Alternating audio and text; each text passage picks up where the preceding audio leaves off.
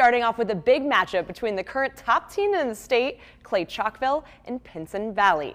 Starting this one off scoreless between these two solid teams. Cougars Kamari McClellan, though, hits Mario Craver on a 48-yard touchdown pass play. We lose the receiver on this one, but I promise you, he is in there for the end zone, or into the end zone. Two-point conversion is good. They lead 8-0. Then Kewan Posey finds TJ Metcalf on a nine-yard touchdown pass play for the Indians.